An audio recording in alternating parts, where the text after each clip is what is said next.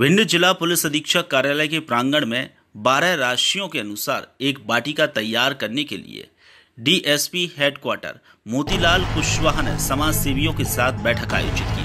ताकि वाटिका को संपूर्ण रूप दिया जा सके। समाज सेवी राहुल भारद्वाज ने इस विषय पर संज्ञान लेते हुए पौधारोपण के विशेषज्ञ संगठन वसुंधरा श्रृंगार युवा मंडल को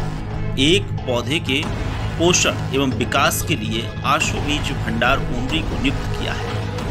वहीं सोमवार को कार्यालय प्रांगण में पौधारोपण किया गया एसपी कार्यालय में तैयार की जा रही वाटिका में मेष राशि के अनुसार आम और वृषभ के लिए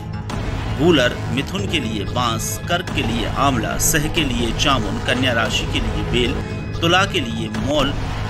और वृश्चिक के लिए खैर धनु के लिए कदम मकर के लिए कटहल कुंभ के लिए शमी और मीन राशि के लिए नीम के साथ अन्य औषधीय पौधे यहाँ पर लगाए जा रहे हैं।